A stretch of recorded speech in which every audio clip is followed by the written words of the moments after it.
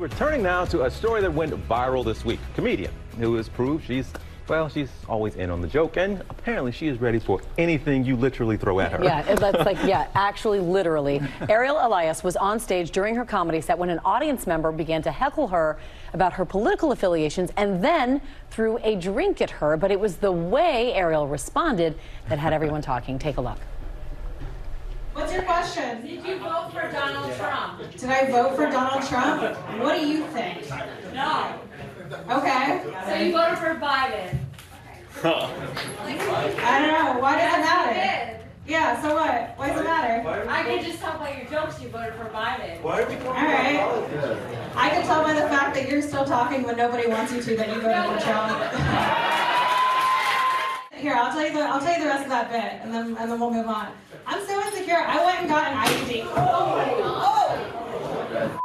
Oh, Come on, bro. You can't do that. Kidding me? Yo, I'm never coming to Kidding people ever again.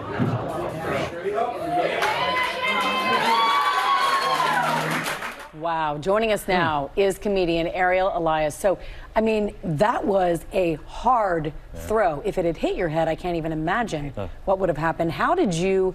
I mean, you actually reacted in a, in a beautiful way, a gracious way by just drinking it. But what were you thinking when that happened? Uh, when it hit, I didn't realize how hard it was until after I got home and watched the video and realized, like, oh, if that had hit me, I would have had to spend the night in that town, probably, which would have been awful. Um, but I don't know, I just thought, how funny would it be if I drank this? So I picked it up and I, I drank it. So when you, when that was all happening, did it seem like time was going slowly? Like take us through like the second. When did you have the realization, and you know that what had just happened to pick it up to start chugging it? And did at any time were were you saying to yourself, "Eh, "I'm on stage, but I'm going to do this"? I mean, I, I think that I would have left the stage. I think like a couple of things. One, I've been doing this for a while, so I have lost my cool before. I just didn't that night. I think when you're a woman in comedy, it's generally kind of scary.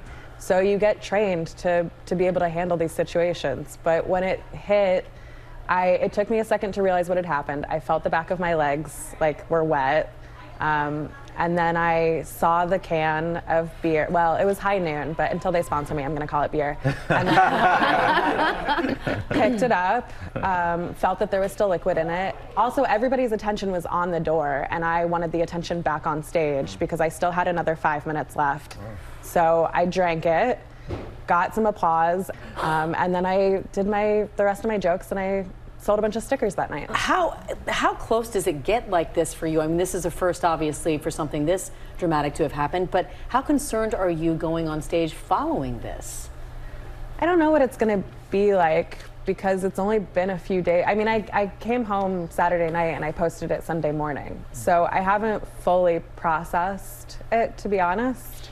Um, I have been on stage since in the city and it was fine, at, at- but those are also stages where I feel comfortable. New York City. In New York City, Yeah. yeah. Sorry. we call it the city Yeah, too. city, Yes. yeah, yeah. yeah. um, but we'll see what happens um, once I'm once I'm out of my comfort zone a little bit. Said what happens? You, we might see you on Kimmel. Kimmel said, uh, Yeah. well, you sent a note to Kimmel uh, via Twitter. Hey, you got to shoot your shot. And you did. And apparently he is going to, uh, he said yes, yeah. that he would, uh, you should come on and do your bit on his show. Is that, is that in the works? Is that going to happen Yeah, yet? yeah, yeah, that's in the works. I mean, wow. not to like brag, brag, brag, but like I think I've been ready for late night for a few years. Woo, there it is. That's what I'm talking about. That's a girl boss And right you, there. You probably won't have to wear a helmet or any type of, you know, No, I protective think equipment. like generally his, Safe. his his audience seems pretty chill, um, pretty uh, pretty pretty kind. Yeah. um, But you so, have a way yeah. apparently of working up crowds there, Ariel. Uh, no, really, uh, you have been great throughout this. There was a scary moment, actually, given all that we have seen when it comes to comedians here lately, the past few months. You handled that absolutely beautifully. So we look forward to seeing you on Kimmel stage at some point. Thanks for coming in. Thanks for having me. Well, hey there, GMA fans. Robin Roberts here. Thanks for checking out our YouTube channel. Lots of great stuff here. So go on, click the subscribe button right over right over here to get more of awesome videos and content from GMA every day, anytime. We thank you for watching, and we'll see you in the morning on GMA.